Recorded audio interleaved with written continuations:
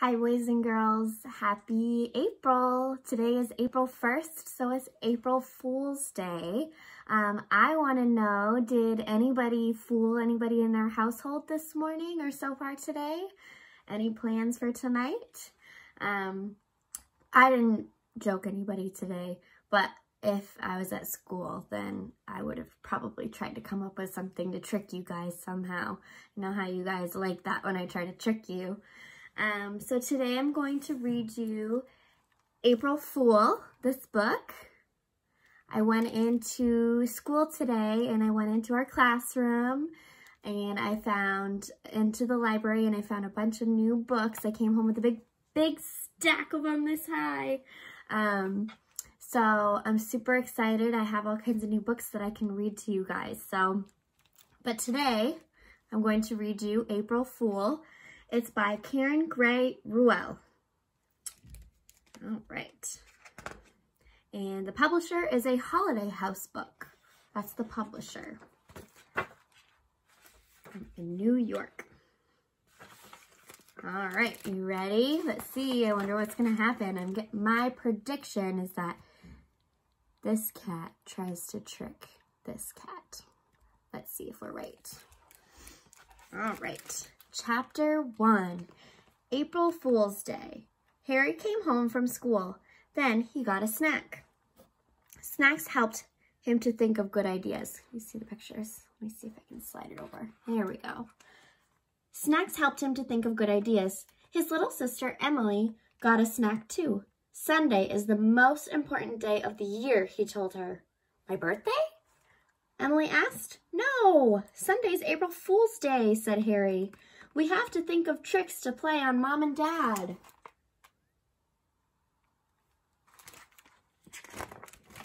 Why? said Emily. Because it's fun, said Harry. And because I know you are tricky. I already have some tricks. You have to think of some too. Sunday is only two days away. Harry and Emily thought about tricks. They ate some cookies. They thought some more. They ate some grapes. Do you remember last year? said Emily. All kinds of good snacks. We put toy spiders in Mom's coffee. Woo! She was very surprised. Let's do that again. Mm, that won't work, said Harry. It has to be a new trick. This is a trick for little kids. They thought some more. They thought until all the snacks were gone. Remember that trick we played on Dad? asked Emily. We put a whoopee cushion on his chair. It made a funny, loud noise. He was so surprised. Let's do that again. Spiders in Mom's coffee. It will not work, said Harry. He knows that old trick. It has to be a new trick. It has to be a real surprise. I know, said Emily. I can play a trick on you. If you tell me about it, it will not work, said Harry. It will not be a surprise. Then I will not tell you, said Emily. Do not use a toy spider or a whoopee cushion. It will not be a surprise, said Harry. Oh, trust me, you'll be surprised, said Emily. I am very tricky. Do you guys think she's tricky? I don't know. Chapter 2, Tricky Tricks. It was the day before April Fool's Day. All morning, Emily practiced tricks. She jumped out from behind a chair. Boo, said Emily. You did not surprise me, said Harry. You need a better trick. Emily made a scared face. She said to Harry, look out behind you. I know that there's nothing there, said Harry. To trick me, you will need a big surprise. The bigger the surprise, the better the trick. After lunch, Harry and Emily went to the magic shop. They brought all the money from their piggy banks, just in case.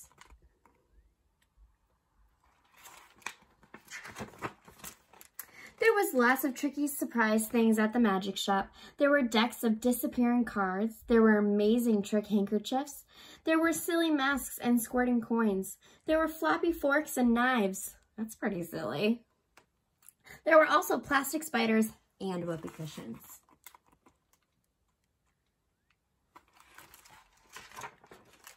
We don't need those, said Harry. We already have some at home.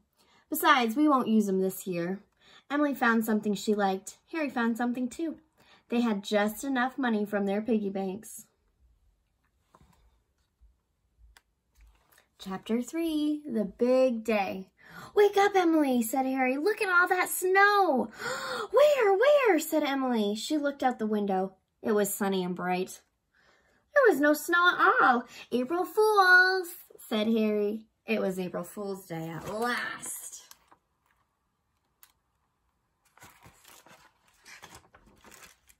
Time for breakfast, said Harry and Emily's mother. Hurry up on your ice, or your ice cream will melt, said their father. ice cream for breakfast, said Harry. Yum, said Emily. April Fools, said their mother and father. Later, Harry set the table for lunch. He put a jar of nuts on the table. Dad, can you open this? It is stuck, he said. His father unscrewed the lid. Out jumped a toy snake. April Fools, said Harry. At lunch, Harry said to his mother, Aren't you going to answer the door? I didn't hear the doorbell, she said. It just rang, said Harry. Oh, said his mom. She went to the door. Nobody was there. April Fools, said Harry. Harry's April Fool's Day tricks were a great success.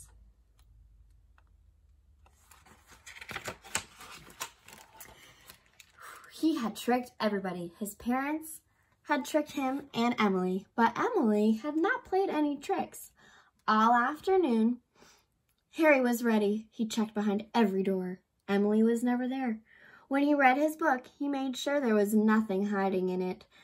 But Emily had no tricks for Harry. Maybe she was too little to play a good trick. What do you think? Do you think Emily's too little to play a good trick on Harry? Or do you think she can do it? The last laugh. Harry and Emily went out to play. When they came back, Emily was hiding be something behind her back. She went to her mother and said, Look what I found. Can I keep it? She pulled out a stiff leash with no pet in it. She jiggled it. It looked like an invisible pet was pulling at it. What is that? asked her mother. April Fools, said Emily. Oh, you are very tricky, said her mother. I hope you have a better trick for me, said Harry. Doesn't sound like Harry liked that trick. But look at her. Pretending as a pet. That's pretty, pretty clever. Their father was in the kitchen. Emily went in and said, oh, look at my new pet. She jiggled the leash again. Well, what kind of pet is that? asked her father. April Fools. It's an April Fool pet, said Emily. Oh, very tricky, Emily, said her father. Harry waited, waited for his trick from Emily. There were no tricks at dinner. There were no tricks at story time. There were no tricks at bath time. There were no tricks at all. Harry was kind of disappointed.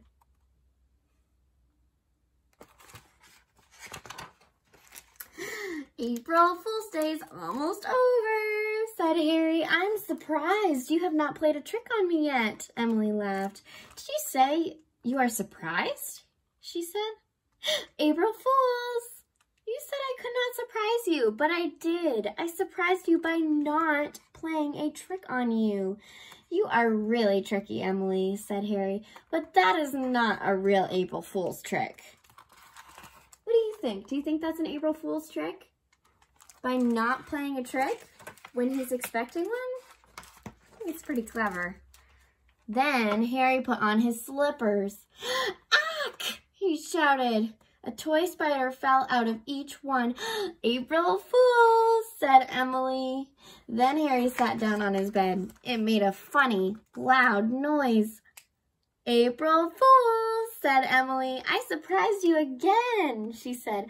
I am the trickiest sister in the whole world.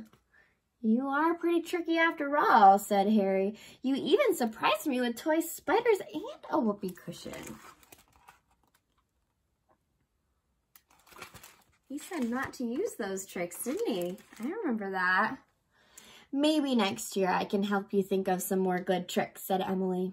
Okay, said Harry. I can think of some good tricks right now, said Emily.